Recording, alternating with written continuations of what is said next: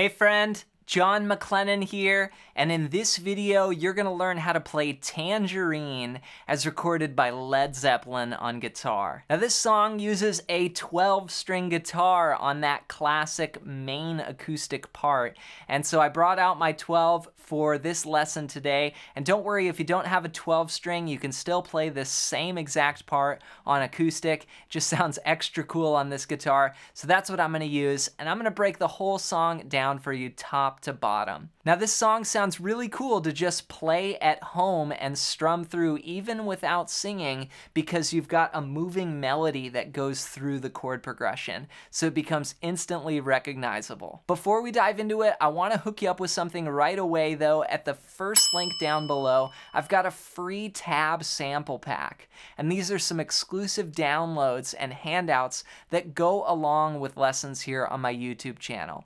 So it's just gonna make learning from my videos so much easier. So check that out as my gift to you. And with that said, let's break this song down. Let's learn how to play Tangerine as recorded by Led Zeppelin on guitar. We're gonna start off with this classic intro. Here's what it sounds like. Three and four and...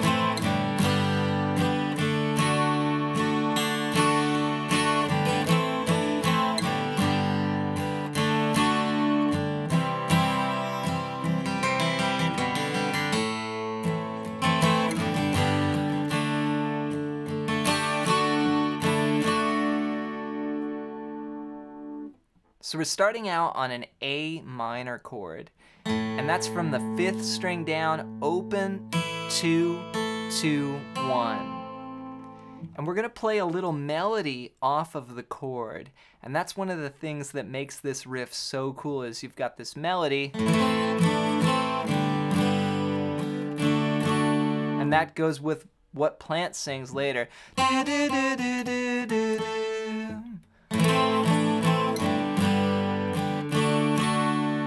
So I'm playing that A minor, then I'm reaching up and getting my pinky on the third fret of the second string.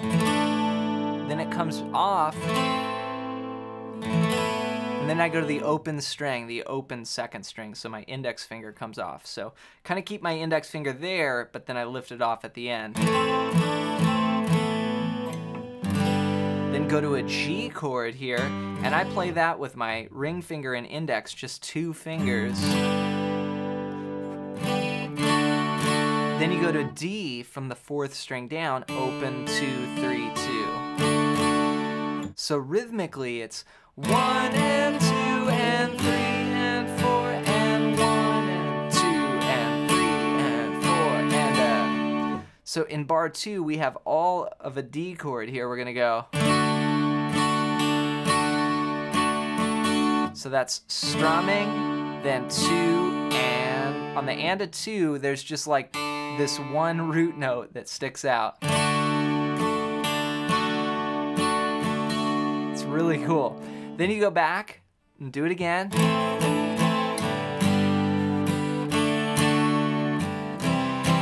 The second time you keep going down, so you go D, then C, C, okay? So one and two and three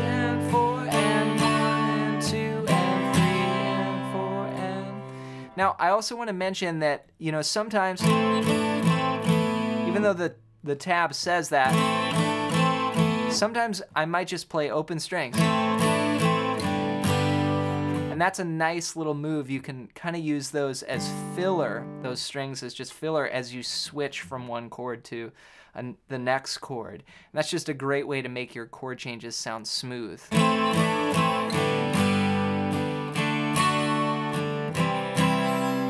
Okay, now we mm. get to some arpeggio picking. Here we're gonna go.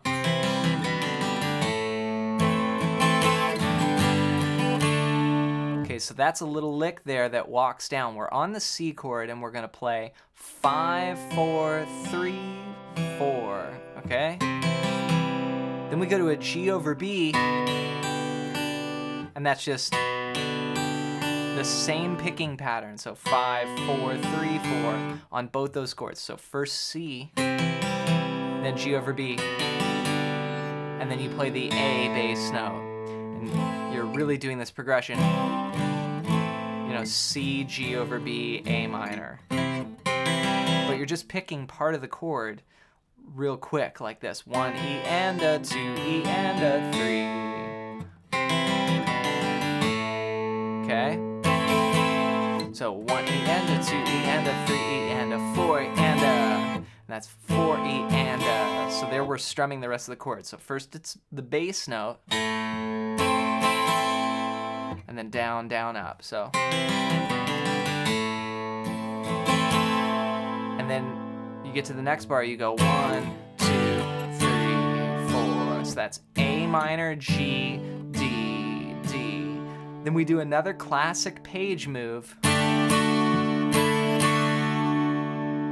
If you're enjoying this video, make sure to hit the subscribe button and ring the bell so YouTube will let you know when I post another video just like this. Now what he's doing there is taking a D chord and getting a little melody on top. So that's adding your pinky down to get a sus chord, then natural, then open, then back. So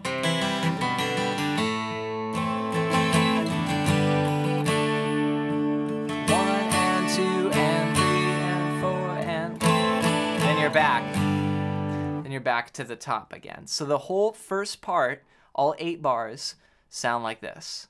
Three and four and.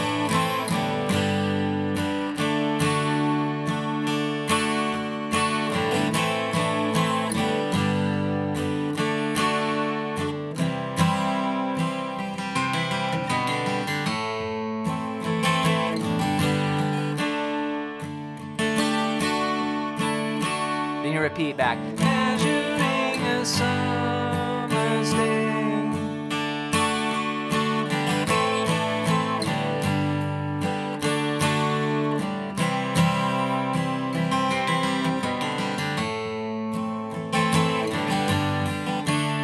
Okay, now the second time you go.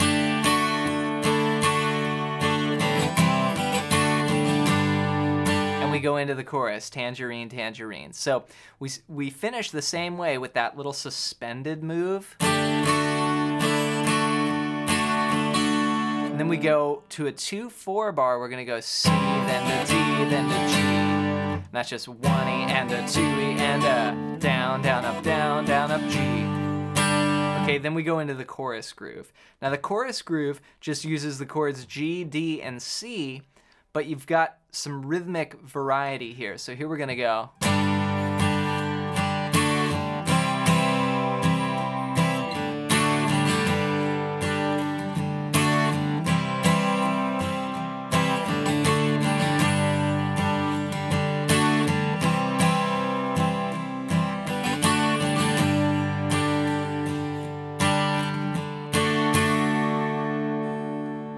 All right, so what I'm playing here is G1 and 2 and 3 and 4 and. So I'm going to that D on the and of 3 and then C on the and of 4.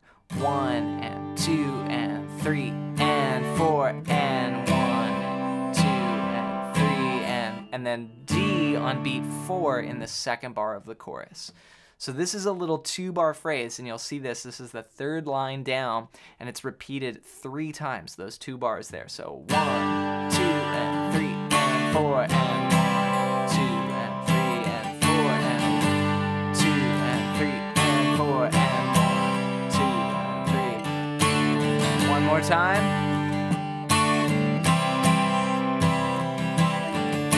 Okay, then we go on. One,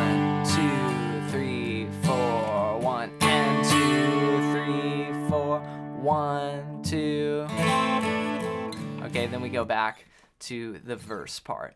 So what I did there to end was just stay on G, one, two, three, four, then go to D, one, and two, three, four, then one, two, a two, four bar, and you're back to either the first part. Now later we go into a guitar solo. Now the guitar solo goes to A minor, and G, then D, then F. Okay, so that's the first four bars. So each one of those chords lasts one full bar. So A minor to G, D, and then to F, and that's just your typical F bar chord here. I'm doing the thumb chord, but that's just one, three, three, two, one, one, just your standard F chord. From there, we go to an E chord and we go.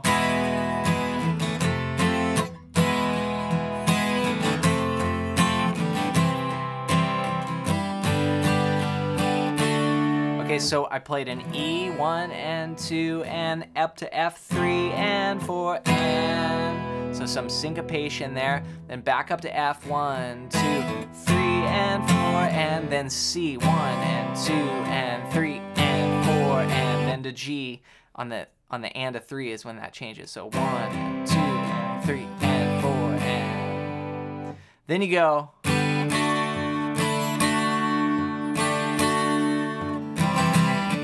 So that's G, D, then another Page thing. You know, he's lifting up that open string for the D chord. Then add the sus.